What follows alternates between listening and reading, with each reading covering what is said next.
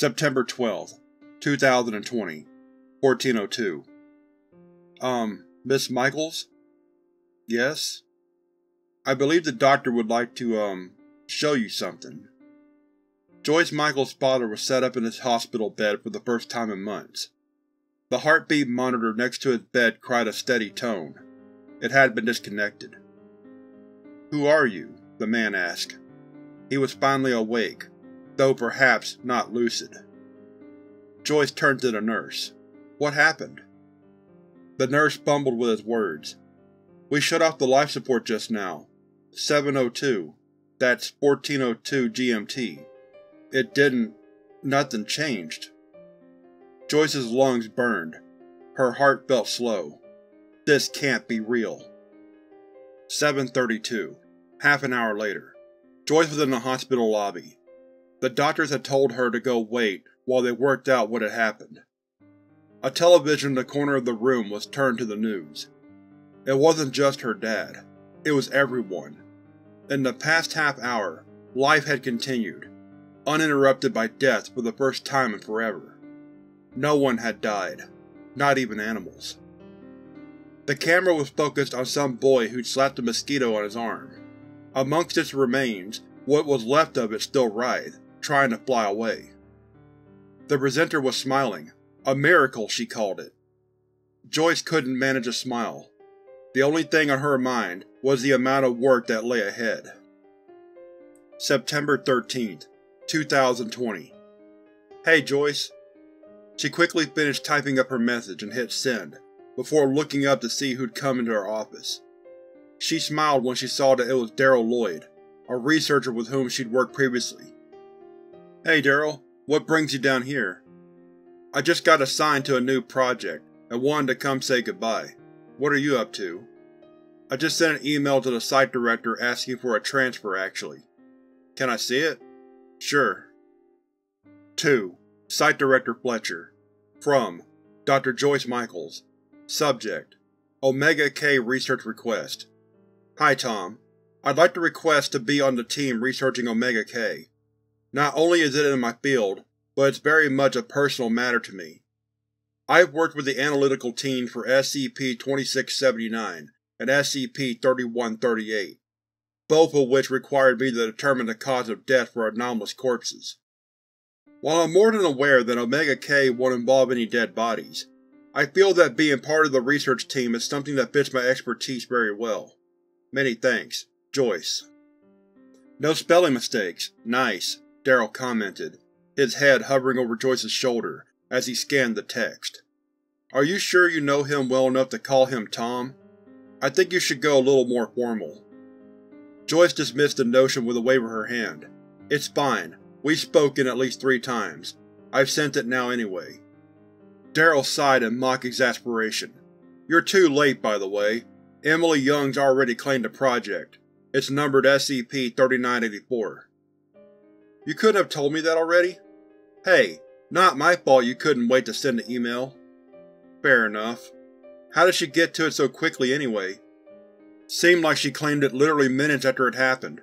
Don't ask me how she managed it. Joyce shrugged. I guess she does work fast. How do you know this stuff anyway? I'm on her research team. Oh come on now, that's not fair. Do you think you can get me a place? Daryl laughed gently. I'm not sure that I can. She was keen on having a very small team. Shame, Joyce sighed. Look, I actually have to head to a meeting in a few minutes, so I don't really have time to chat. You know, Daryl began, his voice trailing off. Joyce looked up at him. A long moment passed. What? It's funny how it's the Rapture, but my neighbors are still out mowing their lawn like it's any other Sunday. Rapture? Who's calling it the Rapture? Uh, I think some hippies on the news started to raise awareness for the growing population or something. Spread over the internet. Right. Sorry, what was your point? I just find it funny how this is a K-class scenario and all, but the mundane day-to-day -day stuff just carries on. Joyce laughed gently, just enough to tell Daryl that she'd acknowledged his joke, but didn't find it funny. He smiled, rapped his knuckle twice against her office door, and closed it behind him on his way out.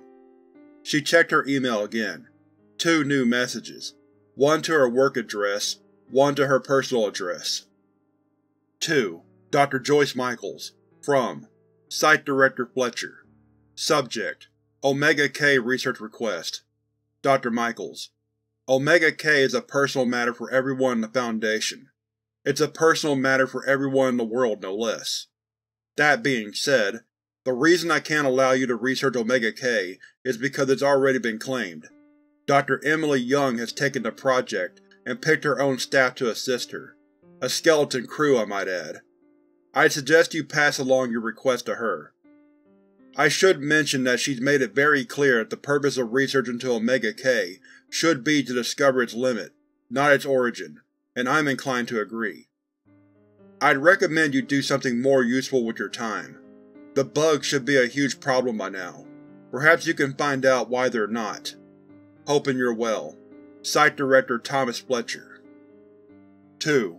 Joyce Michaels 79 at gmail.com From Administrative at newstarthospital.org Subject: Regarding upcoming discharge Dear Joyce, On account of budget constraints and increasing hospital membership, the New Start Hospital regrets to inform you that your relative, George Michaels, will be discharged from the hospital on the 15th. As Mr. Michaels is no longer in a terminal condition, we trust that this news will only bear a minor inconvenience.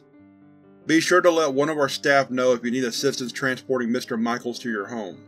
Regards, New Start Hospital April 17, 2022 A long thin speleothem spittle drilled gently from her father's mouth.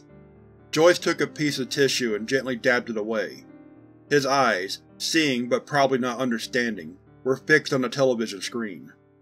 The television showed, in silence, the inauguration of Jonathan Narsims as President of the United States. The election had been a landslide. Narsim's manifesto was neither left-wing nor right-wing. He simply had a solution, which is what everyone wanted to hear. Three sharp knocks on the front door woke Joyce from her mental haze. Her eyes drifted hazily from the television, which was turned on but muted, to the door. She rose from her seat and made her way over to the source of the noise. She took a quick look through the peephole and saw someone she faintly recognized from years ago. A face she could barely remember, and certainly didn't know by name. She opened the door, and there stood someone dressed in the green uniform of South Cheyenne Point, an assisted living facility a few hours' drive away. It was where Tony, Joyce's brother, worked, if you believed what the Foundation told people who didn't need to know better. Joyce knew the truth, of course, but the fresh-faced twenty-something who was stood at the door clearly had a script to deliver. I'm real sorry, Miss Michaels, he began. I, I, I hate to have to be the one to tell you, but Anthony's dead. He passed away peacefully. How old's that script, kid? Joyce asked, tired eyes boring down into him. No one's died for a year and a half. He stuttered, fumbled on his words. He didn't have a backup plan. I haven't had to do this in quite a while, sorry ma'am. You are a Foundation, right? Not civilian? Yes, ma'am. You know that I'm also Foundation? N no, ma'am, but I do now. Then you should know that I know that my brother's been dead for quite a while. I'm real sorry, ma'am, the boy mumbled. He was doing his best. I guess that's better than finding out now. A quick glare silenced him. It's not. I'm sorry, w when did he die, if you don't mind me asking? Ten days before everything went to shit. Ten fucking days. If he'd have taken a holiday or something, he'd be alive today. I'm sorry for your loss. You know, Joyce continued, now that she started talking, she couldn't stop. I was told he was a good man, a great agent, one of the best. I was told he saved countless lives, but they never told me how. Joyce stepped to the side, letting the boy look into the room, letting him see the silent television and the elderly man who sat opposite to it, watching intently, probably not even aware that he couldn't hear anything. That's my dad, she continued. I look after him these days. He's supposed to be dead. Hospitalized for months. He was going to die that very day, you know. He kept his life, just like everyone else, but his memory is long gone.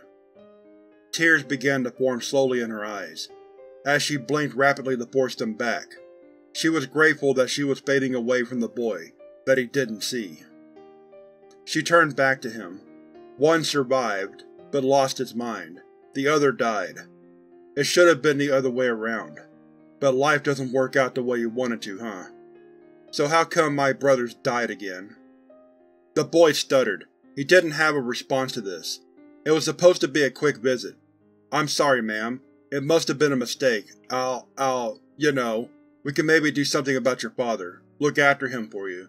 That way you you you, can maybe uh, even come back to the Foundation, have a little more time on your hands. I'll think about it, Joyce said, and then she gently shut the door over the boy's face. She took a seat next to her father. He asked who the boy was, but she didn't answer. He wouldn't remember asking by the time she'd finished speaking. December 31st, 2025 Joyce sat at her desk, compiling the report that she'd been asked to make. A list of anomalies, both in containment and otherwise, and any changes that occurred to them as a result of Omega K. She stared at the list, her five most recent entries, the ones she'd finished today, staring back.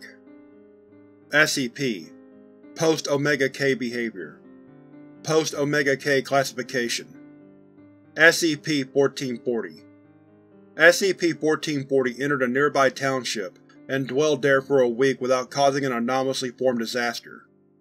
The Foundation proceeded to capture SCP-1440 for containment at a nearby site. Euclid, pending further reclassification and neutralized. SCP-2935 The Foundation is no longer able to access SCP-2935. Its entrance now leads to a non-anomalous tunnel system. Neutralized. SCP-2718 System bug making entry inaccessible is now gone. Entry was empty. Possibly unrelated. Reassigned. Declassified Anomaly A-315 A-315 no longer displays anomalous properties. Neutralized. SCP-2339 Population number has continued to increase into the millions, now capable of simulating upwards of 20 symphonies simultaneously. Euclid Three sharp knocks on her office door diverted her attention from her work. Come in, she called. The door opened, and Daryl Lloyd burst inside. He looked a little disheveled, his hair not quite in place, a little red in the cheeks. Joyce, he began, slightly breathless. Young just tried to kill herself. I know that you worked with her previously. I… I just wanted to let you know. Emily Young? Emily, yeah. Joyce closed the document she'd been working on, and rose a hand to idly scratch the side of her neck. Weren't you both working with 3984 directly, she asked. We were. You'd have thought that she of all people would know the consequences. What's her current condition? I got here as soon as I could. She'd been taken to medical right now. If I had to give a prognosis, I'd say brain damage at the very least. How bad? Bad. Joyce pressed both hands to her face and let out a long, quiet moan. If Daryl heard, he didn't comment. A long moment passed. Daryl broke the silence. I'm sorry, Joyce, he began. Were you too close? Joyce lowered her hands from her face. She took a sharp breath in, and exhaled it slowly. No, my brother worked with her, though. Daryl nodded. He continued. Can you let someone know that I'll be taking over 3984? Are you sure? Yeah, I'm sure. I wanted to originally, remember? I'll write up the post-incident report and everything, just leave it to me. I want to see Emily first, though. Daryl shook his head sympathetically. Of course. I'll take you there now. October 3rd, 2030 Hi, is this the home of a Miss Joyce Michaels? The woman at the door had hair dyed a deep purple, made into curls that bounced around her shoulders. Her smile, painted a bright red, was big and felt genuine. Yeah, that's me. Good to meet you. My name is Emma Preston. I'm working with the Societal Consensus Program, and I'm here to ask you a few questions. Can you spare 15 minutes? Oh, I've heard about you guys.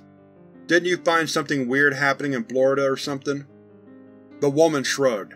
A wry smile on her face. I'm sorry, I wouldn't know about that. I just asked the questions. Do you mind if I come inside? With no excuse readily available, Joyce waved her inside. Preston curtsied and let herself into the lounge.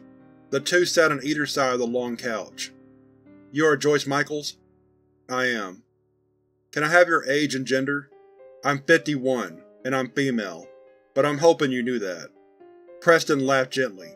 Hey, I'm not one to judge. She spent another moment writing in her notepad before looking back up at Joyce. May I ask if you have any living immediate family? Uh, sure. Joyce took a moment to think, and saw that Preston was already writing, even though she hadn't said anything yet. My dad George is 83. He lives in an assisted living complex. My brother Eric is 48, though I don't know where he's living at at the minute. Have you visited your dad recently? I, uh, that's a little personal? No, not recently. Preston looked up from her notepad. I'm sorry. Is that everyone? That's everyone. Thank you, Joyce. May I ask if you're expecting a child, or if you know anyone who is? I'm not, and I don't. I'm pretty sure we're not allowed to these days. Preston nodded. You are, but only if the pregnancy is registered, which you have to declare a few weeks in advance, and then they can deny it. I think it's hideous personally, but it's the law. Sorry for asking. This is what the consensus is for, after all. Sure it is. That's no problem. Blame Narsims. Of course. May I ask about any lifestyle changes you had since the Rapture? The Rapture? Oh, you mean Omega K? Preston tilted her head to the side slightly, her hair swinging to match. I mean, since people stopped dying. Yeah, that. Uh, I guess not a lot, really. What kind of information are you looking for?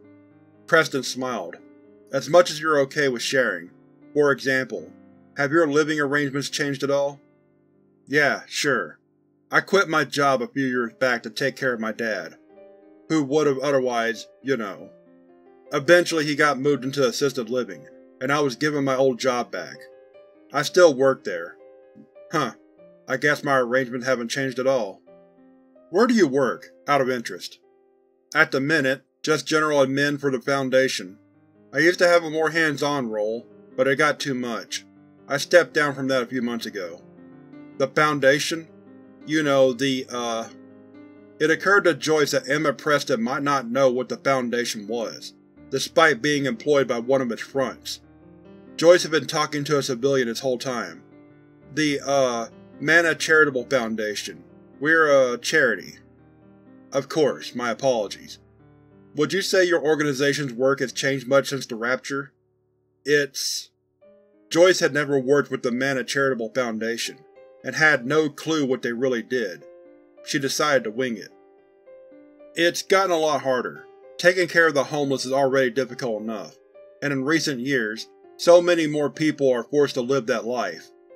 We've been doing our best to take care of as many as we can, and we'll keep doing so, but it's hard, you know.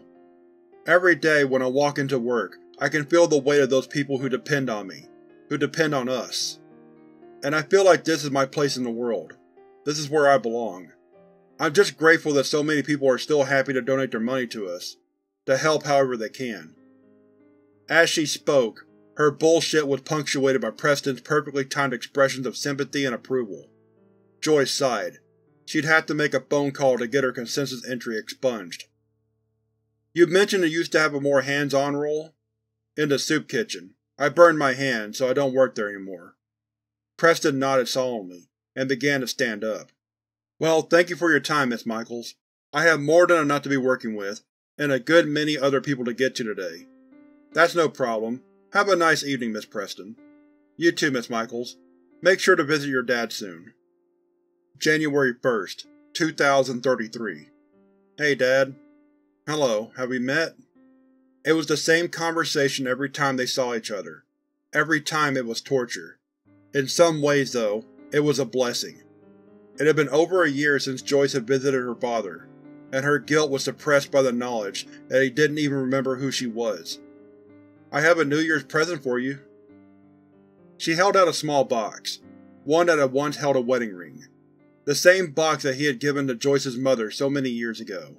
She'd found it by pure chance a few months ago. She was hoping that he'd remember it. That feeling its blue velvet cover would bring something back.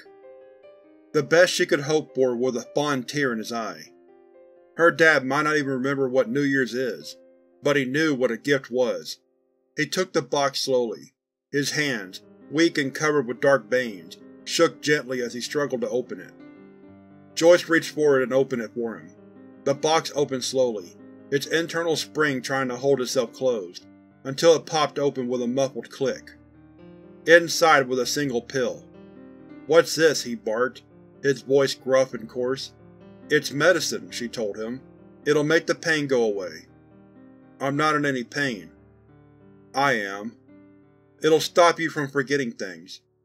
I haven't forgotten anything. Dad, you don't even know who I am. Of course I do, he said, and for the first time since Joyce had arrived he looked up and made eye contact with her. Joyce had forgotten what that felt like. Her dad's gaze, sharp and intelligent, boring down into her.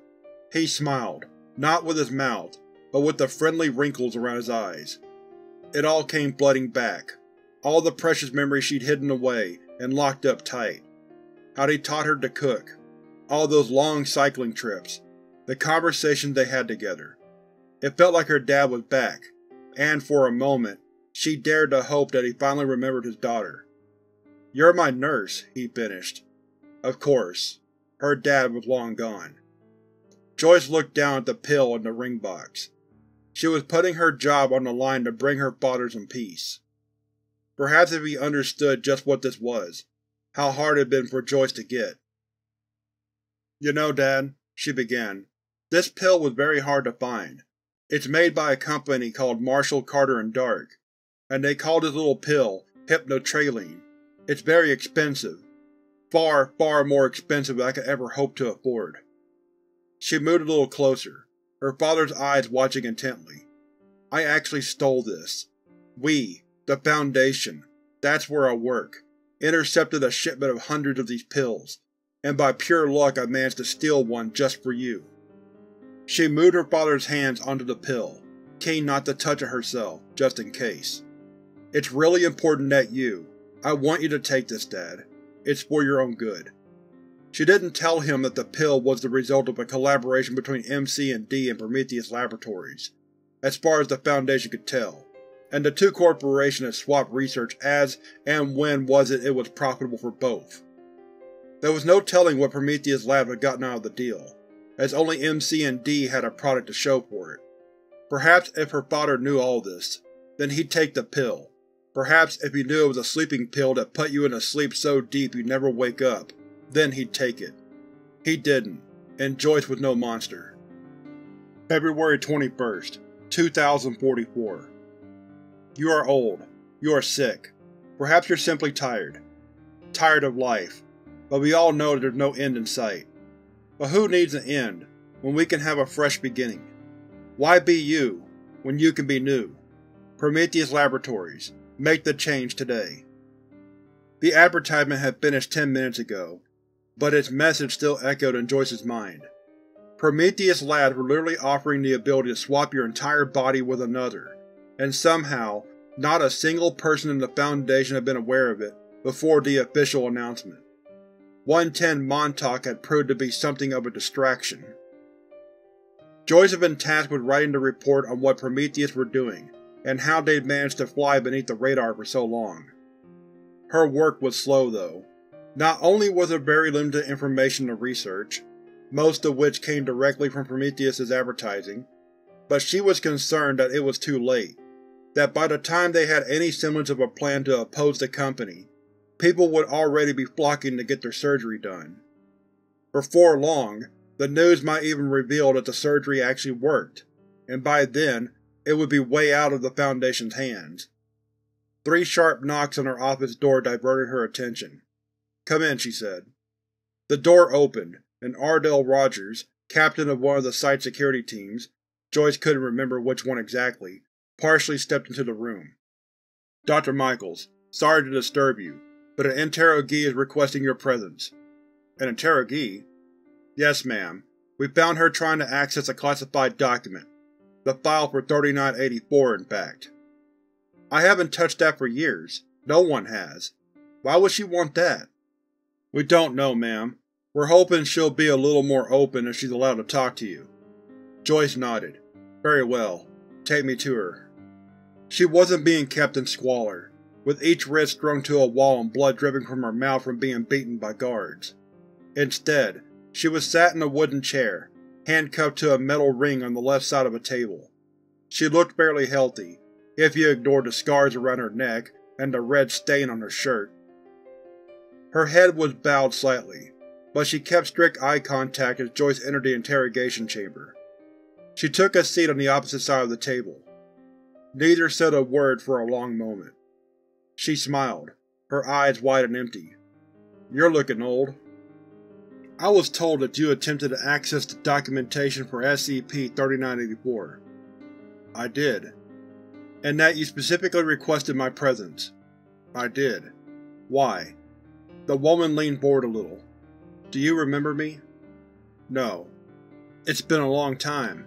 Sixteen years? You're older than sixteen. I can see you being fifty. Sixteen years since you stitched my head back into my body. It all came back. 3984. Every D-Class who Young got her hands on, the fates that befell them, they were all still alive. One had come back. She beheaded you. Her smile grew wider. You remember me. I'm sorry, Joyce started. Words came back to her, words that she'd been planning to say to her but had never been given the chance. I'm so sorry you had to go through that. Eight years in a freezer. I… I'm… She nodded, but too quickly. It was more like a nervous tick. It changes you, but you survive. D-11424. That was your designation. What was your name? A look of confusion passed over her face, like she didn't know the word, or perhaps the answer, but it was gone in an instant. It doesn't matter. Why did you want to talk to me specifically? Young was trying to hide something. I knew it. I know it. I found the evidence. Of course she was trying to hide something. She killed handfuls of D-Class, real living people who had to take the torture she inflicted and carry with them forever. If you read the file, you know as well as me that she tried to… Do you know what Project Dammerung is, Doctor? What? Project Dammerung. Does it ring a bell? Joyce thought back. The word did ring a bell, though she couldn't remember where from. I don't recognize the name. It existed. I know it. There's a link. A link to it in SCP-3984. A reference, but I couldn't get through it. I was the lead researcher for 3984 for years. I would know if there was something like that there. Of course you wouldn't be able to see it. It was buried, hidden, deep beneath, level 5 access only. Young. Young put it there. She spoke too quickly, spit forming around her mouth. She reached her free right hand up to wipe it away. Joyce knew that she could be right. If there was such a link, it was very possible that it could have been hidden from her. Joyce turned towards the door. I think we're done here. No, no, she cried, stretching forward with her free hand, panicked eyes staring up at Joyce. Tell me then, Doctor. Tell me why research into Omega K was forbidden. Because there's no point. But there was no point in any of the tests we did for 3984. A guard's voice echoed through the door, barking some command. Promise me you'll look into it. No. I will. The door swung open, and Joyce was pushed aside. A guard grabbed the old D-11424 and forced her into her seat. Another grabbed Joyce, more gently, and led her outside the chamber. The door swung shut behind her with a metallic clang. Arnold Rogers placed his hand on Joyce's shoulder. I'm sorry you had to go through that, ma'am. Forget what she said. We'll take care of her. It's no problem, Joyce replied, but her voice was distant. D-11424 could be right. Before she could look into that, though, she had a report on Prometheus Labs to finish.